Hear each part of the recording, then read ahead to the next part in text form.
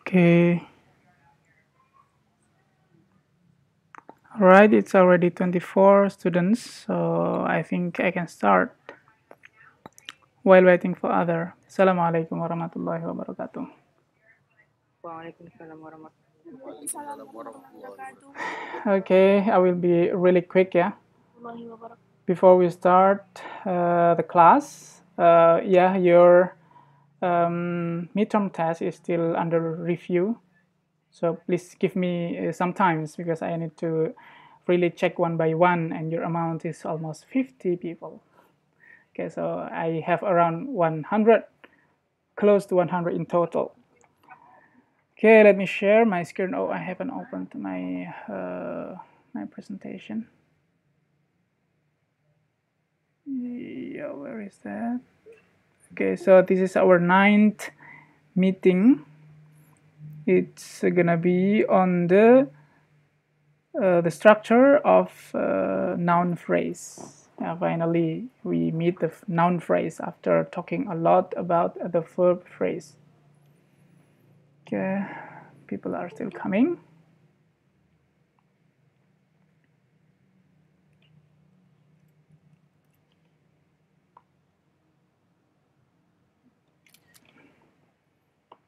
Okay, I guess I can just start sharing my screen.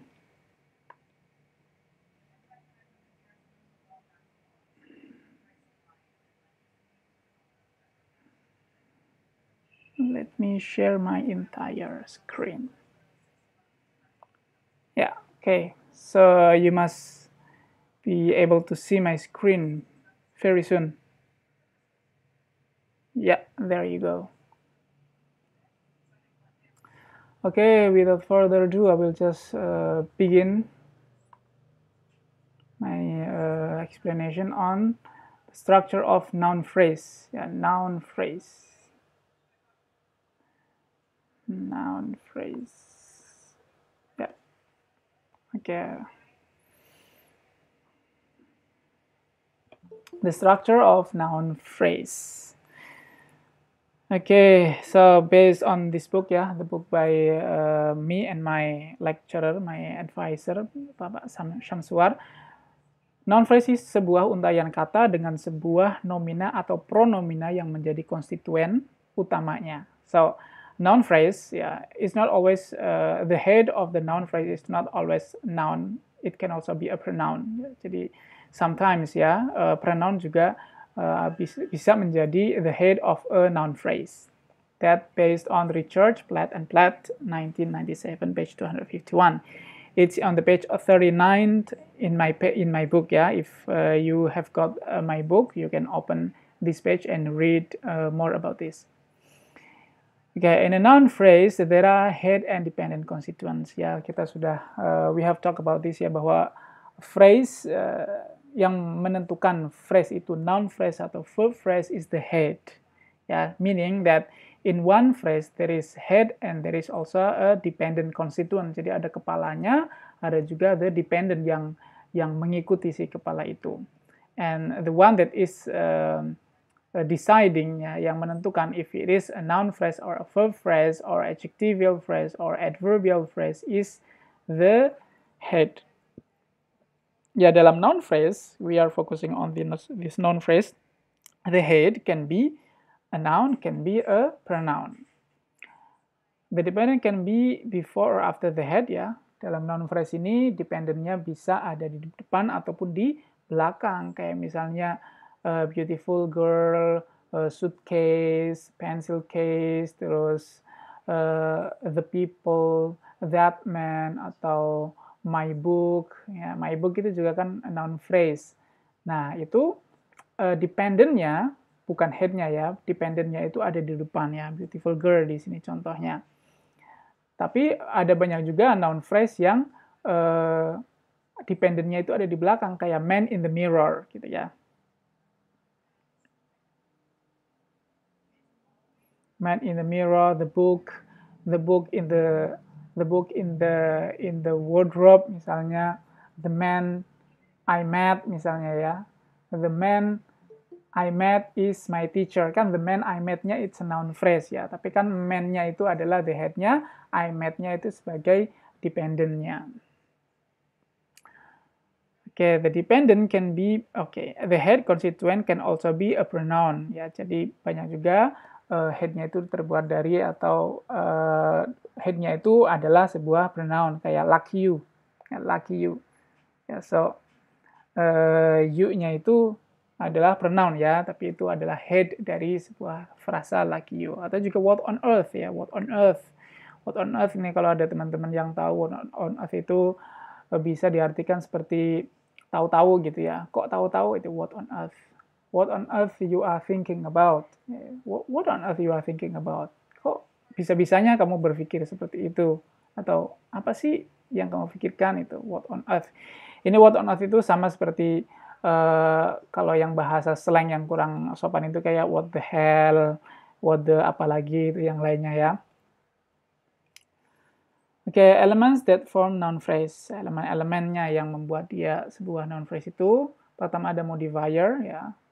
Jadi kan we have know that noun phrase dalam hal ini itu noun phrase itu adalah sebuah kata yang lebih dari du, sebuah uh, language unit ya, sebuah unit bahasa yang le, yang terdiri dari lebih lebih dari satu kata gitu ya. Jadi ada table. Table itu kan satu kata, it's a word. Tapi kalau the table ya maka itu bukan lagi sebuah word tapi sebuah frasa karena terdiri da lebih dari satu kata. Nah, yang membuat dia sebuah uh, sebuah frasa itu uh, ada dua macam yaitu modifier sama satunya lagi itu determiner ya. Modifier dan determiner. Oke. Okay. Modifier in Indonesian we call pewatas ya. Adalah unsur yang membatasi, memperluas atau menyifatkan induk frasa Pewatas dapat hadir dalam frasa nomina, verba, adjektiva, dan prepositional. Contohnya ini, ya biasanya kata-kata yang ada adjektifnya, ya itu adjektifnya disebut juga dengan modifier. Ya kayak di sini ada big box. Ya, bignya ini it's a, an adjective, and box is the the head of the phrase.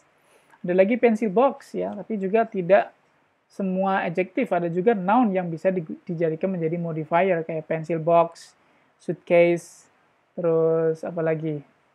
Uh, organizing committee, terus ada banyak ya yang yang uh, kata benda tapi diterangkan oleh kata ke, kata pedal lagi. So the pencil here is a modifier and then boxnya itu adalah the head. Dalam sintaksis, konstituen yang berfungsi menerangkan induk frasa atau head dikenal sebagai pewatas. Oke, yang kedua ada determiner ya. Determiners are a fixed set of grammatical words which give information relating to definiteness and indefiniteness. Ya, jadi determiner ini, ini kan determine. Determiner itu kan untuk uh, menentukan bahwa sesuatu itu diketahui atau tidak diketahui. That's a determiner. The definiteness and the indefiniteness roughly secara uh, secara kasar ya secara secara luas whether the thing referred to by the noun phrase is familiar to both speaker and hearer or not. Jadi sebuah kata itu uh, sudah diketahui, disepakati ya, sama-sama tahu oleh interlokutor atau orang-orang yang sedang berkomunikasi itu sudah diketahui atau belum. Selain itu, sekali selain tentang definiteness and indefiniteness, determiner juga untuk me menentukan quantity juga proportionnya. Ini basic determiners ya. Jadi intinya determiner ya yang paling basic adalah artikel ini the, a, or an ya. Jadi mau a mau an ya a and an, an kan indefinite ya, tapi tetap dia disebutnya sebagai determiners. Jadi kalau ada sebuah kata yang diawali dengan the, a, an itu is no longer a word, it's already a phrase ya I have a book. Ya, a book-nya itu adalah uh, phrase. I have a pen. Ya, a pen-nya itu adalah uh, a phrase. It's no longer word because it's already with a determiner karena sudah ada determinernya. Apalagi the ya, the makin obvious karena the itu kan lebih kelihatan mata gitu ya. An expression that occupies the same position as in NP structure as an article counts as a determiner. Jadi ekspresi apa pun yang bisa menggantikan the, e atau n, ya itu disebut juga sebagai determiner. Ya misalnya quantity itu kan, quantity kan bisa posisinya secara sintaksis posisinya bisa menggantikan the, e atau n. Ya saya punya sebuah buku, I have a book. Ya booknya, a booknya itu kan sebuah buku. Eh ternyata saya punya lima, I have five books. Ya five-nya ini kan menggantikan posisinya si artikel tadi yang tadinya e diganti menjadi five. Ya, itu quantity ya, numer numeralia atau numerals. Nah, five-nya itu disebut sebagai determiners. Sets of word which perform the same function as the articles. Ya, these, that, these, those. Ya, ini uh, demonstratif. Ini juga adalah determiners karena dia bisa menggantikan posisinya si uh, artikel. Uh, certain quantifier ya, some, any, no, each, every, either, neither, ini bisa either, neither, bisa either, neither, either, neither, either, neither itu kalau di Inggris. Kalau di Amerika, either, neither. Kalau di Purwokerto ya, sama aja dua-duanya. Oke, okay, dan posesif ya. My, your, its, her, his, our, they, John's. Ini semuanya adalah determiners. Oke, okay, ini adalah contoh uh, phrase markernya. Oh ya, kemarin ada banyak teman-teman yang kecelek ya, yang kesalahan, kurang teliti. Banyak banyak itu yang sebenarnya phrase tapi banyak yang di atasnya itu yang di atasnya itu selalu sentence. Padahal ini tidak selalu sentence, tidak selalu S. Ada NP, ada VP,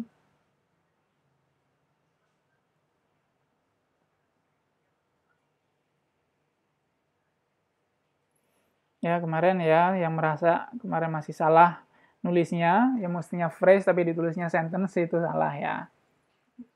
Agar tidak diulangi nanti pas puasnya. Ini non phrase those trampolines determiner ya demonstratif ya nomina trampolines. Some mistakes determiner uh, quantity noun. Uh, and then uh, determiner possessive my. Yeah, this is how you construct or how you draw the phrase marker. Misalnya nih, John's father. Nah, ini gimana nih? Apakah John's father cuma dipisah menjadi dua uh, nodes saja? Ya, cuma dua apa tuh panah gitu ya? Apakah lebih dari dua? Ya, ternyata lebih dari dua ya. Mestinya seperti ini.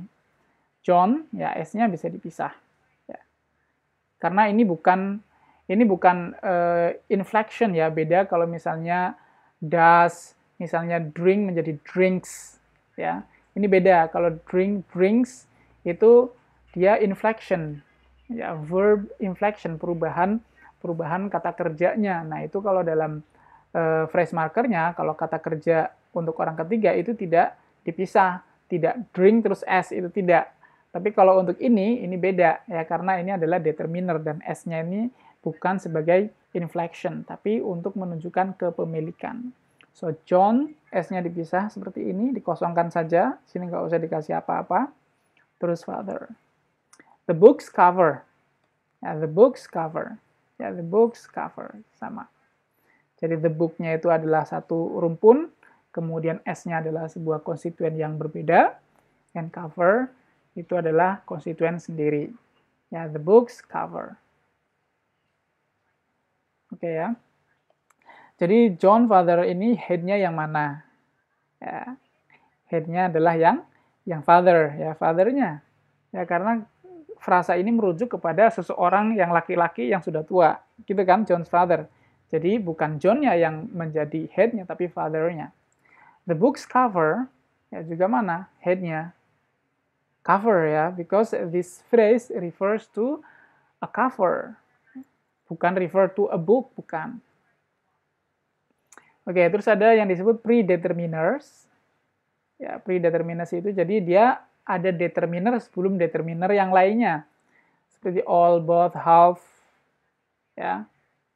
They do co-occur with the present determiners. Kayak misalnya ini, the man.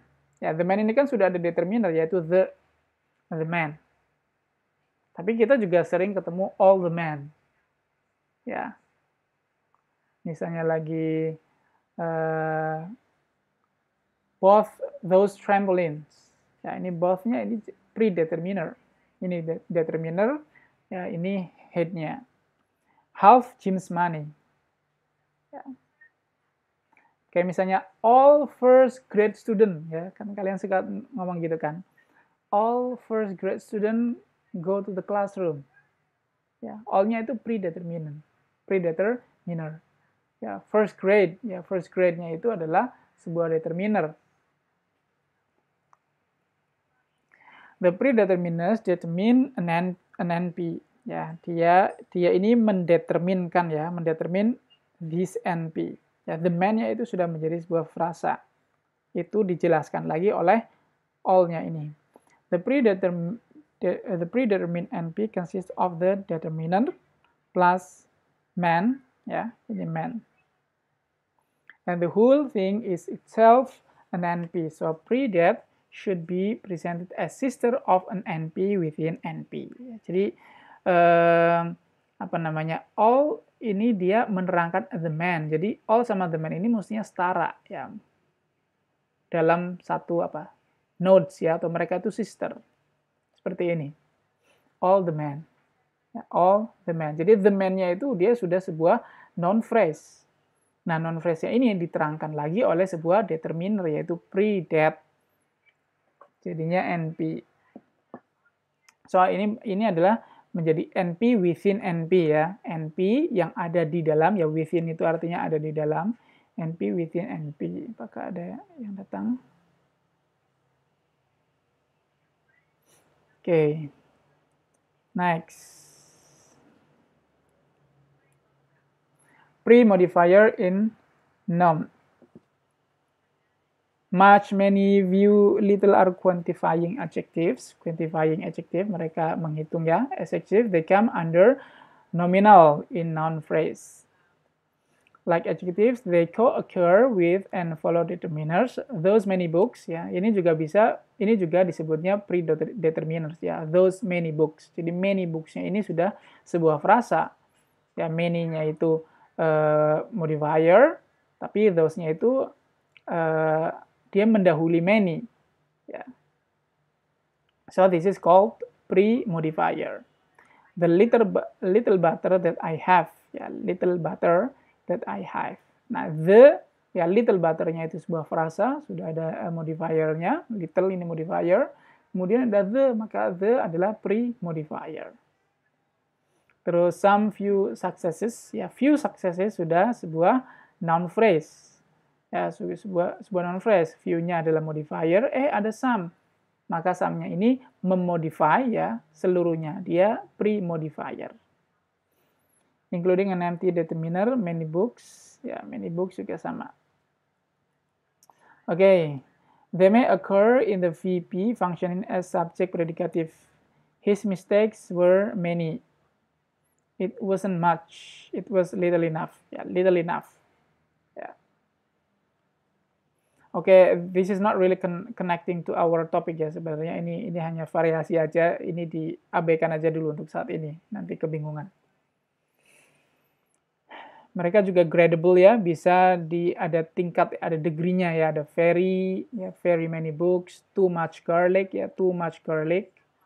Ya too much garlic ini uh, much garlic-nya itu sebuah frasa terus didahului ya di pre-modifier dengan too. So view ideas very ya yeah, very to so itu adalah uh, gradable ya atau degree. Dia berbicara tentang degree oke okay, and then participle phrases The non-final forms of verbs referred to in chapter 6 as the progressive, perfect, and passive participant may also appear as pre-modifier within nominal. Jadi, ada participial phrases, kan ada frasa-frasa yang memang bentuknya dari awal itu sudah uh, participle.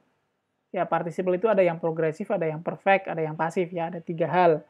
Progresif itu pakai ing, ya perfect itu pakai ed, pasif juga pakai ed. Kayak contohnya ini. The leading manager, ya the leading manager.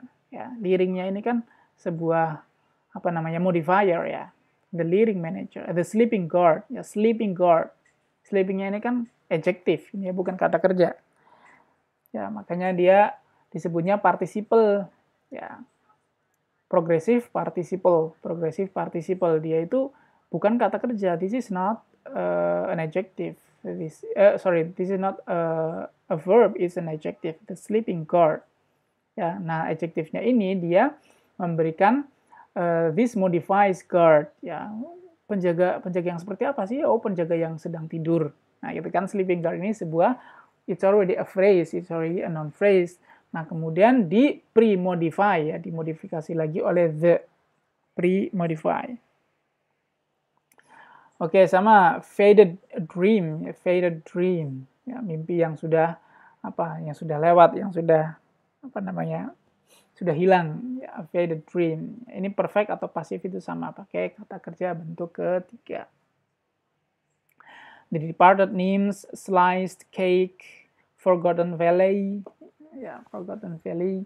Nah ini forgotten valley-nya ini sudah sebuah noun phrase ini uh, disebutnya pasif participle atau perfect participle nah kemudian di pre-modify dengan a ya So ini adalah komponen-komponen uh, komponen-komponen untuk membentuk sebuah noun phrase ya. Ada uh, pre-modifier, ada modifier, terus noun. Ada juga yang determiner, predeterminer, determiner, determiner terus noun.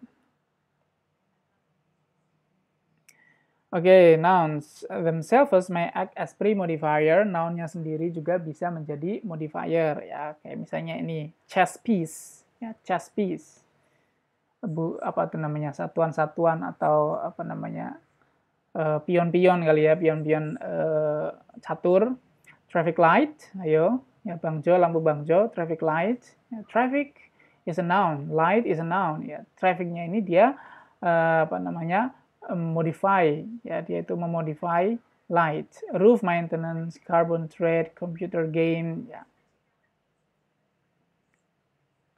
Such noun-noun combination are compound noun.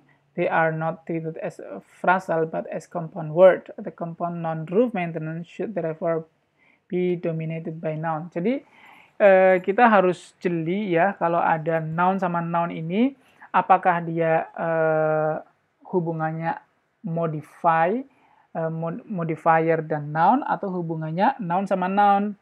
Ya, jadi ada juga eh, kata-kata benda yang dia itu bukan frasa, tapi dia itu uh, compound noun. Ya, ini uh, cukup menarik sih sebenarnya uh, membicarakan noun yang memodifikasi noun lagi.